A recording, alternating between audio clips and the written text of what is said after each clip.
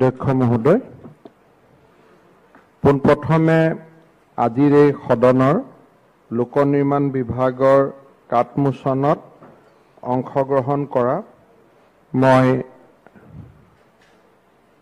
সন্মানীয় বিধায়কসকলক বিশেষকৈ শ্ৰী ভাস্কৰ বৰুৱা নৱদলে মজিবুৰ ৰহমান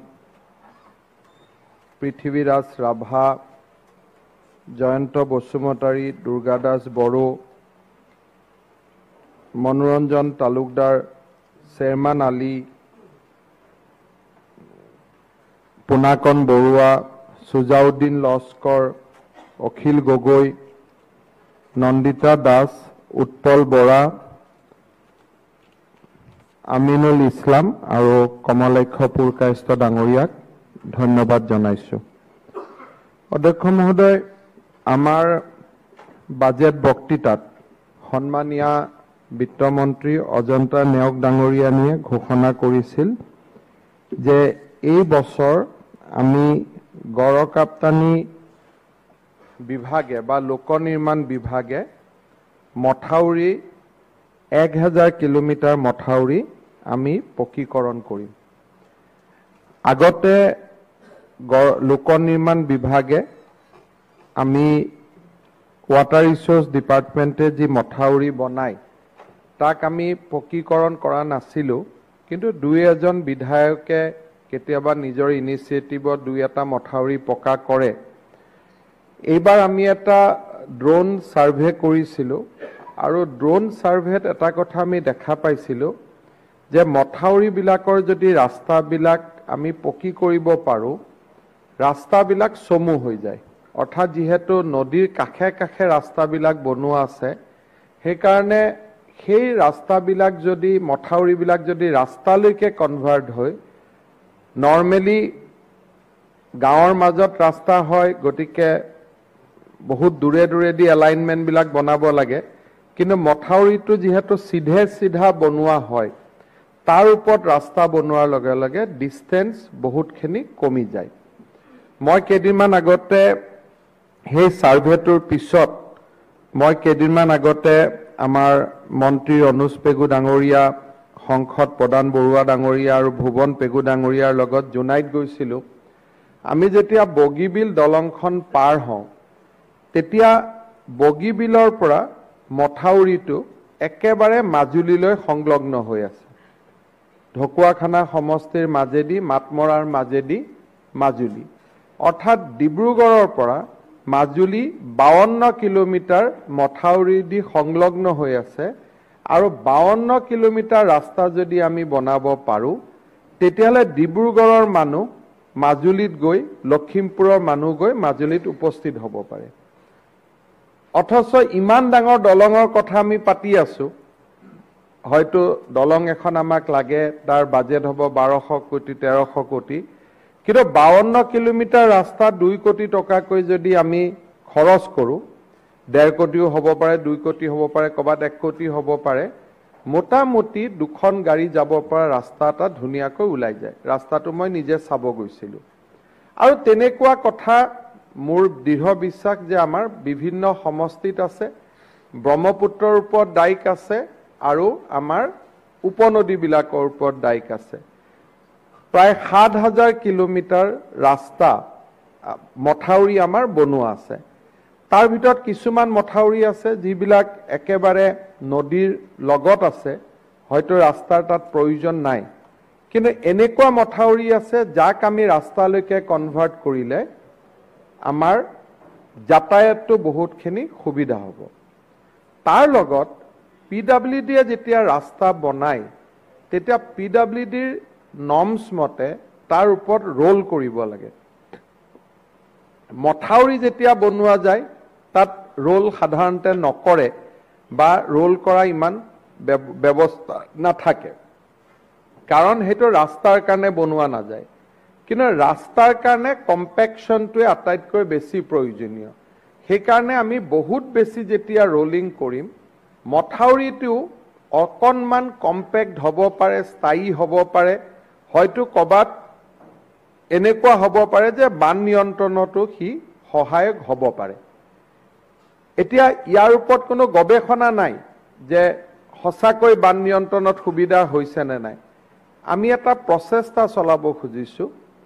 এইবাৰ আমি দেখিছিলোঁ যে আমাৰ গুৱাহাটীৰ পৰা যদি আমাৰ যি লাহৰীঘাট সমষ্টিত মথাউৰি নাই ব্ৰহ্মপুত্ৰখন মুকলি হৈ আছে তাৰ ওপৰত যদি আমি মথাউৰিটো বনাই দিব পাৰোঁ তেতিয়াহ'লে গুৱাহাটীৰ পৰা চিধা চিধি শিলঘাটলৈকে আমি ৰাস্তা এটা বিচাৰিব পাৰোঁ। অৰ্থাৎ মাজত সাত আঠ কিলোমিটাৰ মথাউৰি নাই বাকী গোটেইখিনি মথাউৰি আছে।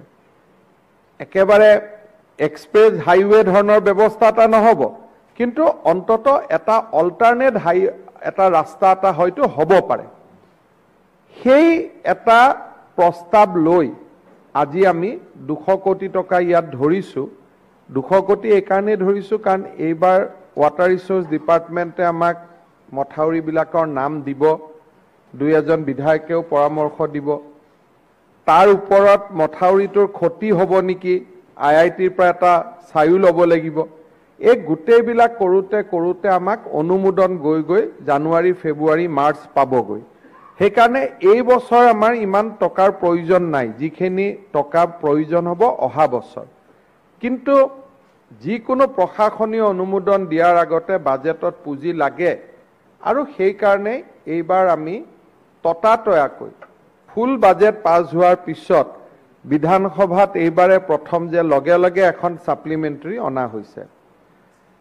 ৰাস্তাৰ লগতে যোৱাকালি ৰিজাৰ্ভ বেংক অৱ ইণ্ডিয়াই আমি যিটো মাইক্ৰ' ফাইনেন্স কোম্পেনীসমূহৰ লগত আমাৰ এম অ' ইউ কৰাৰ কথা আছিল সেই এম অ' ইউখনতো যোৱাকালি ৰিজাৰ্ভ বেংক অৱ ইণ্ডিয়াই অনুমোদন দিছে। তাৰ কাৰণেও আমাক আঢ়ৈ হাজাৰ টকাৰ প্ৰয়োজন আমি আৰম্ভ কৰিবৰ কাৰণে মহিলাসকলক সহায় কৰাৰ। এই গোটেইবোৰ উদ্দেশ্য ৰাখি আমি ততাতকৈ প্ৰথমবাৰে বিধানসভাত এইটোৱে কিজানি প্ৰথম যে এখন পূৰ্ণাংগ বাজেটৰ পাছ হোৱাৰ লগে লগে এখন এছ ডি অধ্যক্ষ মহোদয়কো মই ধন্যবাদ জনাইছোঁ যে আমাক এছ ডিখন আনিব সুবিধা দিয়াৰ কাৰণে। আৰু এই উদ্দেশ্যখিনিয়ে হাতত লৈ পেলাই আমি এই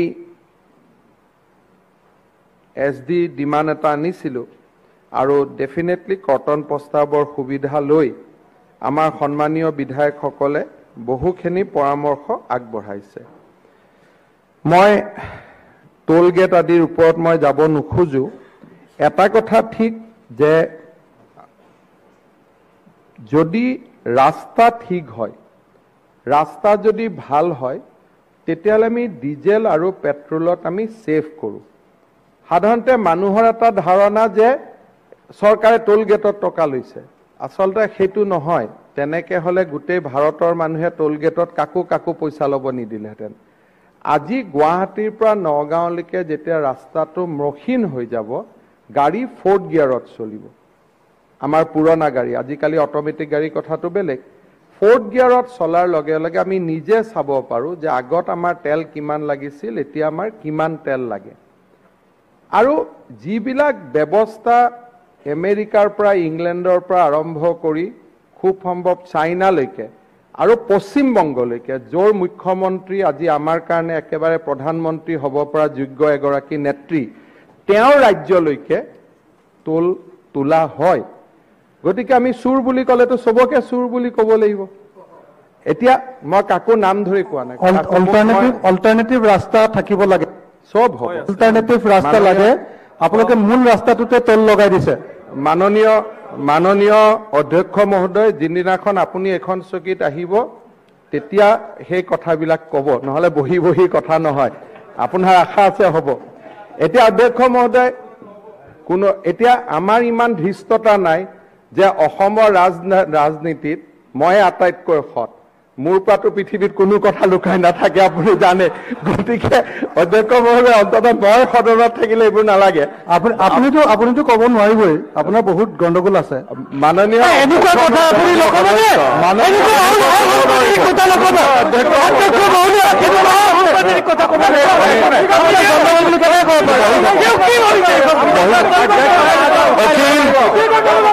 অখিল গগৈ মন্তব্য নিদিব শুনি থাকক মন্তব্য ৰিপ্লাই আছে? মাননীয় মুখ্যমন্ত্ৰী মহোদয় এইটো আলোচনা কৰিছে। এক মিনিট হ'ব। কথাষাৰ উঠাই ল'ব দিয়ক অধ্যক্ষ মহোদয় কথাষাৰ উঠাই ল'ব দিয়ক। এক মিনিট মাননীয় অধ্যক্ষ মহোদয় কেতিয়াবা গুৱাহাটী মেডিকেল কলেজৰ নাৰ্ছ ফাৰ্মাচী চবৰ সন্মুখত আমি কথা পাতিম কোন বেছি সৎ কোন অসৎ এইটো হ'ব কেতিয়াবা। ঠিক আছে এইবিলাক আমি পাতিম। মাননীয় অধ্যক্ষ মহোদয়। হ'ব। হ'ব হ'ব। নাই হ'ব হৈছে। মাননীয় অধ্যক্ষ? মহোদয় হ'ব। আপোনাক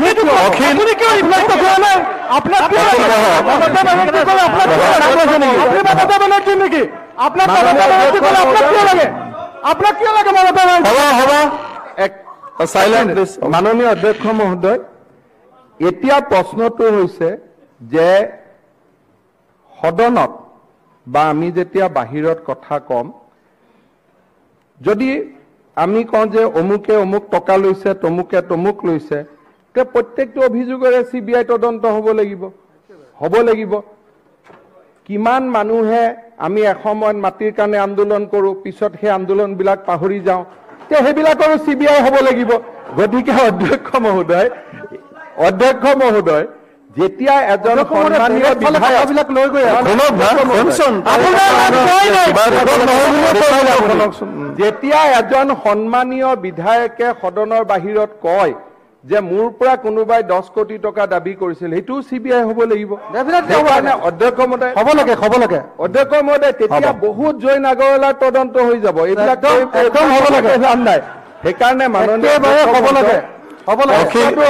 যে বিধানসভা ইয়াতে কৰি আছে। উত্তৰটো দিবলৈ দিয়কচোন কৈ থাকিলে প্ৰত্যেকটা কথাটো হ'বই তেখেতে পাৰ্চনেলি শুনা, অধ্যক্ষ মহোদয় আপুনি কৈ থাকিলে অধ্যক্ষ বিভিন্ন মহোদয় কথা বিধানসভাত অসমীয়া বিষয়াৰ বিৰুদ্ধে অসমীয়া ইঞ্জিনিয়াৰৰ বিৰুদ্ধে কথা কোৱাৰ আগতে আমি ইলেকশ্যনৰ সময়ত ক'ৰ গাড়ী আমি ব্যৱহাৰ কৰিছিলোঁ?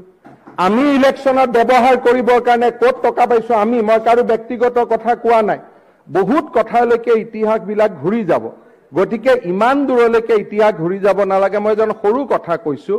গুৱাহাটীৰ পৰা দুজন সাংবাদিক জ্যেষ্ঠ সাংবাদিক এটা বিধানসভাৰ সমষ্টিত নিৰ্বাচনী ভাষণ দিব গৈছিল। সাংবাদিক দুজনে ক'লে যে আমি এখন গাড়ীতে যাব পাৰোঁ। বোলে নহয় নহয় আপোনালোক দুখন গাড়ীত আহক তো আমাৰ বিজেপি কংগ্ৰেছৰ পৰাও যেতিয়া গুৱাহাটীৰ পৰা কোনোবা এটা সমষ্টিত একেলগে মানুহ যায় এখন গাড়ীতে যায় আমি দুখন গাড়ী ব্যৱহাৰ নকৰোঁ টকা থাকিলেও আমি অপচয় নকৰোঁ। গতিকে অধ্যক্ষ মহোদয় মই এটা অনুৰোধ কৰিম হাউচত আমি আহিছোঁ ৰাস্তা বনাব দলং বনাব। যদি কোনোবাই টকা লৈছে শাস্তি হ'ব। তাৰ কাৰণে ব্যৱস্থা আছে লোক আয়ুক্ত আছে হাইকোৰ্ট আছে চি বি আই আছে চলি থাকিব। আমি ইয়াতে আহি ক'ম আমাক ক'ত ৰাস্তা লাগে ক'ত দলং লাগে কোনটো ৰাস্তা দি গ'লে আমি শ্বৰ্টকাটত গৈ পাব পাৰিম ক'ত অল্টাৰনেটিভ হ'ব ক'ত দৰিদ্ৰ মানুহৰ মূৰ মুখত আমি হাঁহি বিৰিঙাব পাৰিম। আজি আমি ইয়াত গোটেইকেইজন বিধায়কে কথা কৈছে। সকলোৱে কৈছে মোৰ সমষ্টিত ৰাস্তা হ'ব লাগে। বিধানসভাত কাম হ'ল ৰাস্তা লোৱা মথাউৰি লোৱা স্কুল লোৱা কলেজ লোৱা। বাকী যাৰ য'ত যি সমস্যা আছে তাৰ কাৰণে সংস্থা আছে। আমি আলোচনা কৰিম। গতিকে মই এটা কথাই বিধায়কসকলক অনুৰোধ কৰিম যে প্ৰত্যেকটো কথা আমি যদি একেবাৰে যে মোৰ বাদে ভাল মানুহ নাই তেনেকুৱা এটা যদি মনত অহমিকালৈ আমি কাম কৰোঁ আমাৰ গোটেই হিন্দু ধৰ্মশাস্ত্ৰ ইছলামতো সকলোতে কৈছে যে অহংকাৰ হ'লেই মানুহৰ আটাইতকৈ ডাঙৰ বিপদটো আহি পৰে। গতিকে মই ভাবোঁ যে অহংকাৰৰ পৰা আমি বাচি থাকিম। অধ্যক্ষ মহোদয় সমস্যাটো হ'ল কমলাক্ষ পুৰকায়স্থ ডাঙৰীয়াই কৈছে যে হয় আমি এটা ফাউণ্ডেশ্যন বনাইছিলোঁ পোন্ধৰ বছৰ আগত। মই সেইটোলৈকে নাযাওঁ কিন্তু যোৱা পাঁচ বছৰত কেইটামান কাম আমি কৰিছিলোঁ। সেইটো হ'ল অজন্তা নেওগ বাইদেউৰ ৰেফাৰেঞ্চ ইয়াত আহিছে। বাইদেউৰ দিনত যেতিয়া তরঙ্গ টিভি সত্যের পক্ষে বলিষ্ঠ আওয়াজ